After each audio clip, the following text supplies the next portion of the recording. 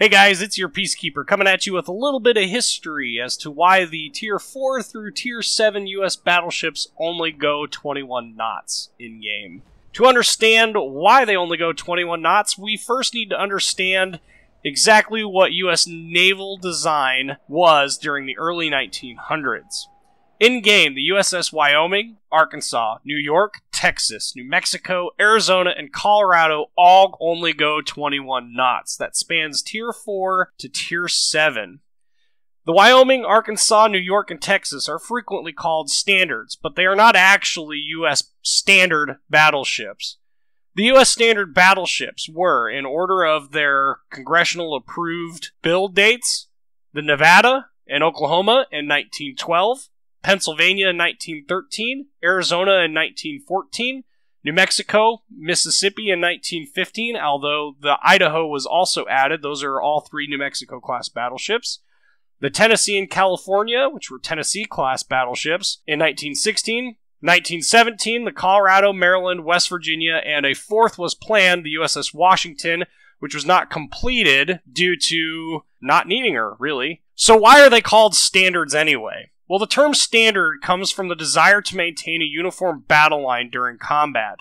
The analysis of individual ships to their foreign counterparts would certainly yield that U.S. ships were inferior on paper. However, the U.S. Navy never intended for these ships to fight one on one. The observation of foreign Navy ships required a commander of a fleet to operate at the highest common speed for all of his ships while in combat.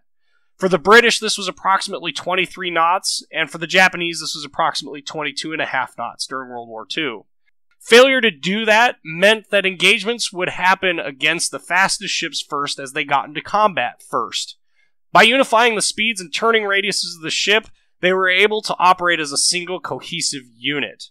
The standard design nature required that all ships be constructed to a similar top speed, roughly 21 knots, and have roughly the same tactical diameter of 700 yards, as well as having four gun turrets and two fore, two aft, as well as having similar hull design and armor layouts. Furthermore, U.S. naval strategist and captain of the Union Navy during the Civil War, Alfred Thayer Mahan, whom the Mahan class destroyers are named after, knew that the U.S. had no real need to continuously pursue an enemy, so top speed wasn't a real priority. He knew that by continuously displacing an enemy from a position would eventually force that enemy to confront the US battleship line as they ran out of places to run to. And he knew that the US Navy was going to destroy them because they were this single cohesive unit that could concentrate all their firepower. This naval doctrine dominated US naval design through the early 1930s. So, what were the standards and why were they chosen? Well, the most obvious two standards were the speed and tactical diameters. The tactical diameter is the diameter of the circle that a ship turns when making a 180 degree turn. Those being 21 knots and roughly 700 yards for the tactical diameter.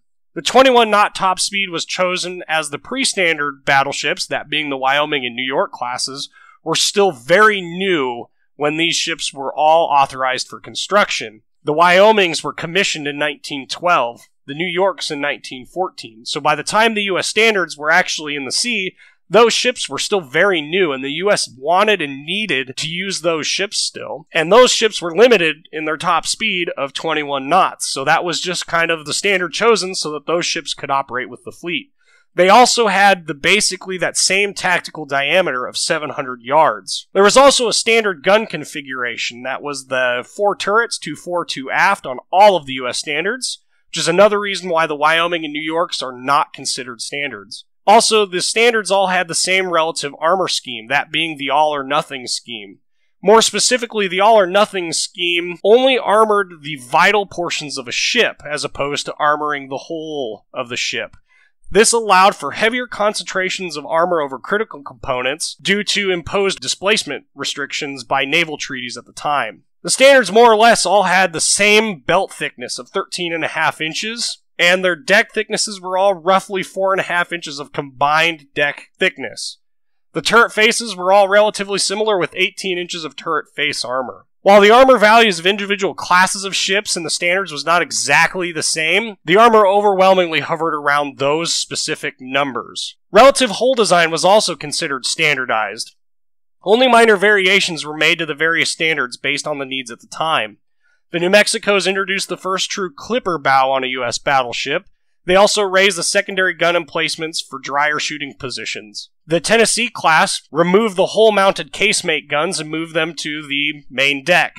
The Colorados took the New Mexico and Tennessees and took it to the more extreme with a more extreme pronounced clipper bow, as well as even higher gun emplacements for the secondary guns. Furthermore, the single most important aspect of the standards came about from a uniform fire control system. The US standards all operated with the Ford Mark I analog fire control computer, widely considered to be one of the best fire control computers ever designed. They also incorporated a gyroscopically stabilized vertical stable element that allowed for more accurate gun training during heavier seas as it kept the guns trained to the correct elevation as the ship pitched and rolled in the waves. This is akin to the gun training stabilization seen on many modern main battle tanks.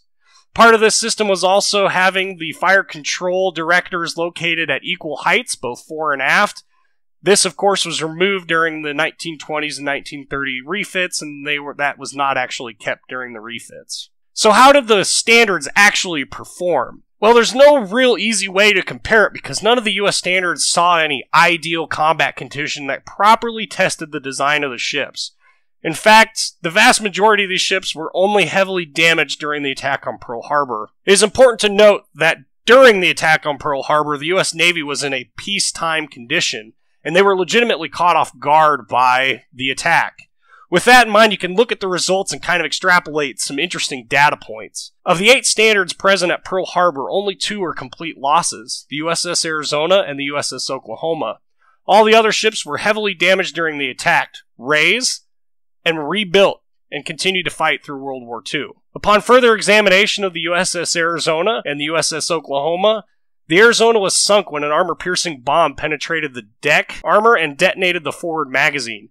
It is unknown to this day exactly what set off the magazine, although there is plenty of speculation around the reasons and why. It is unclear if that was a flaw in the US standard design or if it was some operational failure, but the common belief is that the black powder used to launch the catapult scout planes stored in proximity to the magazines actually caused the explosion. The USS Oklahoma was hit by seven to nine aerial torpedoes in rapid succession with an unprepared crew. The Oklahoma sank on her starboard side. After the attack, she was righted. Cofferdams were built around her. The hull had the water pumped out, and the ship was made watertight again and floated to a dry dock for rebuilding. By the time 1944 rolled around, though, she wasn't rebuilt, and the decision was made to decommission her. Throughout the rest of the war, the Standards were the recipient of 13 direct kamikaze hits, and in each one of the cases, they remained on scene and in combat operating conditions and continued to fight without issues. Torpedo protection was considered excellent, especially after the rebuilds from Pearl Harbor. The USS Maryland, which was a Colorado class, suffered a single torpedo hit in June of 1944. She sailed back to Pearl Harbor for repair was repaired and was back in action by August of 1944. The HMS Resolution suffered a single torpedo hit in September of 1940 that left her drifting helplessly. Her repairs would take from September of 1940 until October of 1941. This torpedo hit at the widest part of the Resolution's torpedo bulge and ripped a 50 foot hole in the bulge and a 20 foot hole in the armor behind it.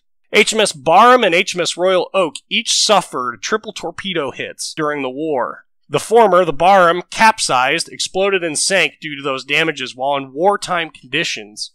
The closest approximation to this is Oklahoma receiving 7 to 9 torpedoes and sinking during peacetime readiness levels.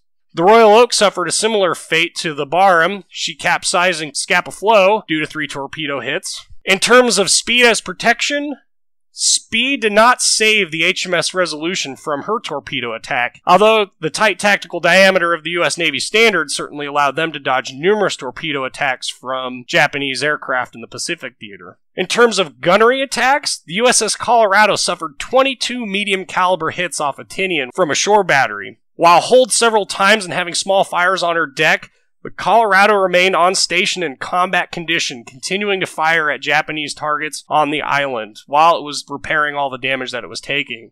The Japanese ships in World War II did not fare nearly as well as the British and US ships did. Kongo class battleship Hiei received a similar assault to the USS Colorado and was re- rendered completely combat ineffective. She would later be scuttled by the Japanese as frequent air attacks threatened to sink her. Japanese battleship Fuso broke in half, capsized, and sank in battle ready condition from just two torpedo hits. Oklahoma didn't begin to list at Pearl Harbor until the third torpedo hit. That's due to proper design and watertight compartmentalization. Yamashiro, another Fuso class battleship, took four torpedoes and sustained bombardment from 14 and 16 inch guns to sink. However, one torpedo knocked out three turrets. The USS Pennsylvania suffered a single aerial torpedo hit while anchored at Buckner Bay in Okinawa, and while heavy flooding occurred, the ship remained afloat and able to defend herself with her guns. Well trained damage control parties were able to stop the flooding and get the ship ready to be moved to shallower waters for repair work in less than a day. So, what does this mean for in game relevance? Why do I care about all this history? While we may loathe the slow speed of the ships, there are considerable advantages to only going 21 knots and having that heavy armor profile that the standards all had. The slower speeds give a captain ample time to judge the flow of a battle and decide whether or not he should change his tactics in response to the changing flow. While the slow speed prevents running away from a failed attack, the slower speed of getting into the engagement should allow an aware captain to remove himself to a better position prior to the battle going south on him.